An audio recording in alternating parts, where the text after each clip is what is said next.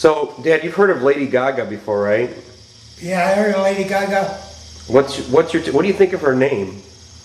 I'll tell you the truth. In Italian, Gaga means shit. it does. It does, honest. So, I mean, what do- what do you think overall of her music, though? Uh, I think she's very talented.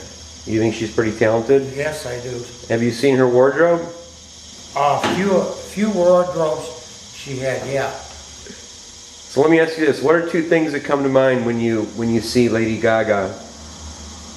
How talented, how talented she is. How talented she is? Yes. Now, do you think that you know, knowing what she looks like, and, and let's just say, for instance, you were gonna give her another name as opposed to Lady Gaga, what what would you name her? Prima donna. Prima donna? Uh-huh. Not to get mixed up with Da. Isn't there one of her name's Donna? No. There's a Madonna. No, I call her prima donna Now, why do you call her prima donna? because it sounds nice. Oh, okay. But you, you know that people have compared her to Madonna.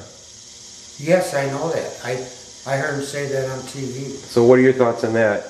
I do. I compare it to Mc- I compare it to McDonald. McDonald. McDonald's? McDonald's. McDonough. McDonough? Yeah, McDonald's. Okay.